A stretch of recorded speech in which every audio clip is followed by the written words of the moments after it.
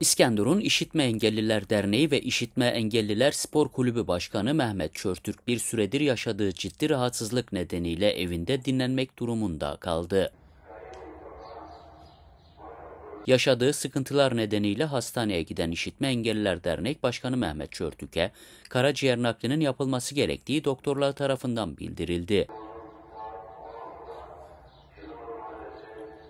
Yaşadığı hastalık nedeniyle evinden dışarı çıkamayan Başkan Çörtük'ü İskenderun Sosyal Hizmetler Müdürlüğü ziyaret etti. Müdür Yılmaz Balaman ve personelin ziyaret ettiği Çörtük'e geçmiş olsun dileklerinde bulunuldu. Dernek Başkanı Mehmet Çörtük rahatsızlığı nedeniyle karaciğer nakline ihtiyacı olduğunu ve bu konuda herkesin desteğinin olduğunu belirtti.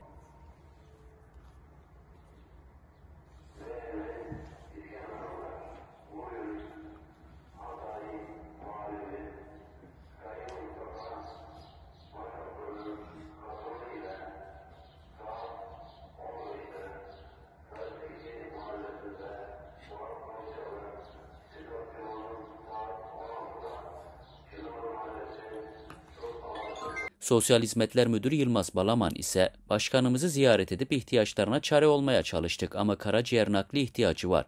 Bu konuda tüm Türkiye'ye sesleniyoruz. Duyarlı olan vatandaşların organ naklini bekliyoruz dedi.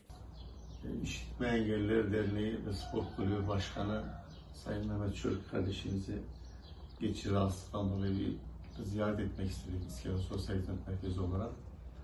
Öncelikle kardeşimize Allah'tan şifa diliyoruz. Kardeşimizin şu anda bir karaciğer nakli ihtiyacı bulunmakta.